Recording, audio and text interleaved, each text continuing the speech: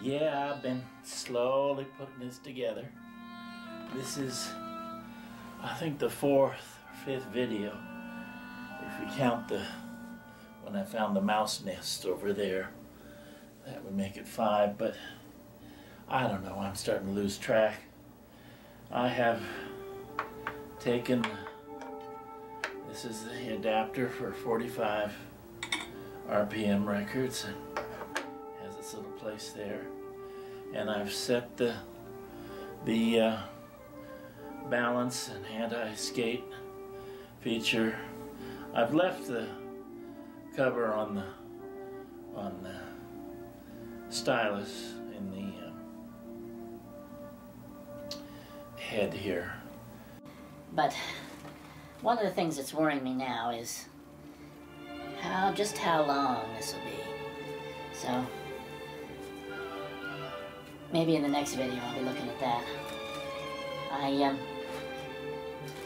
wanted to put on the dust cover today, and uh, that means I have to. I've been using the dust cover as the handy holding tray for everything.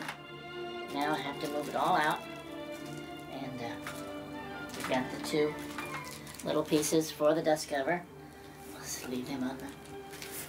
As we open up the the dust cover and pull it out of its protective wrap. And uh, then we take the little goodies, the hinges, and they will go in their place. Now let's see. To put the hinges on the cover first, and then slip the cover in. Yes, that's what it was. So we'll take the hinges, put each one in its little place here.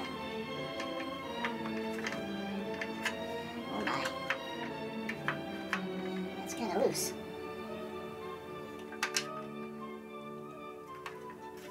Maybe I'm supposed to put them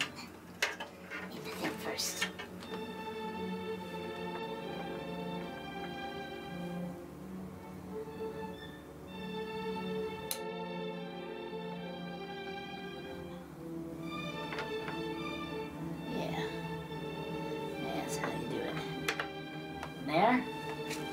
And then put this onto the hinges. There we are. And that's the dust cover for the turntable. Now I've still got the arm clamped down and I've still got the cover on the stylus and I won't be doing taking that off until I move that over to space over there on the bookcase. But uh, things are coming along. This is an adapter cord for connecting to the speaker and here is another cord for connecting to the speaker and here is a speaker cord connecting to the speaker and the USB cord for plugging into the back of the turntable and making digital files. And that is going to be a big good thing about this this turntable is making the digital computer files.